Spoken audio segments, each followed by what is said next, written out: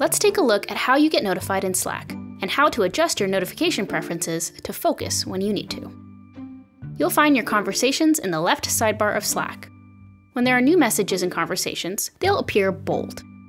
And when someone mentions you to get your attention, you'll get a notification. And a badge will appear beside the conversation that you're needed in. You can click on the channel name from the sidebar to jump to that conversation. The mention is highlighted, so it's easy for you to spot.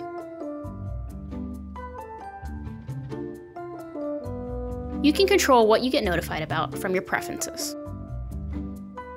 In this case, you'll be notified when you receive a direct message or when a teammate mentions you. There are a few other ways to customize your notifications, like setting a schedule to only get notified during work hours. When you're in a meeting or need some focus time, you can pause your notifications for as long as you need. Now your notifications will be paused for 30 minutes.